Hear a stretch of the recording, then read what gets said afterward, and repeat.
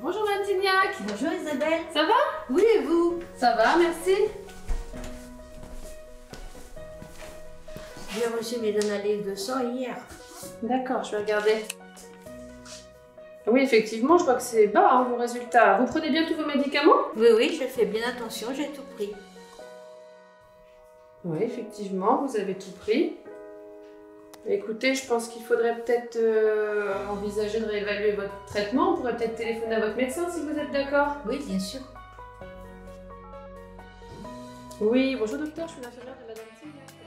Pour ma santé, mon traitement est régulièrement réévalué avec les professionnels de santé.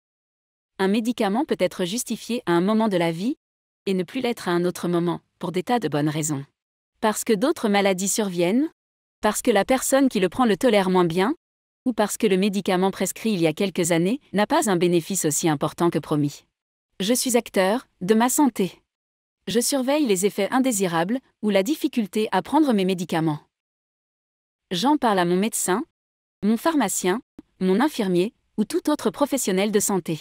La réévaluation, c'est un travail d'équipe, avec les professionnels de santé qui m'accompagnent.